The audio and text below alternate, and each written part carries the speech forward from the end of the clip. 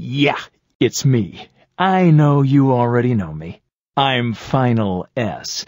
Some people call me a real troublemaker. Do you suppose that's because I have three pronunciations and different spellings? Or perhaps it's because I'm often difficult to hear and may not seem all that important? Whatever the reason, be assured that if you still make mistakes using me, Final S, you're not alone among English learners. You see, some words end in a voiceless sound, like T or T. Notice that when you make that sound, all you're doing is blowing air through your teeth and lips. That's why it's called voiceless. So, when a word ends in a voiceless sound, like T, I'm pronounced S.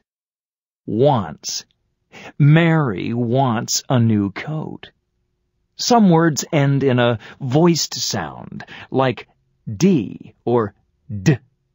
Notice that the sound comes from your throat, D. Compare that to the voiceless sound T, where you don't use your voice. When a word ends in a voiced sound like D, I'm pronounced Z. Needs.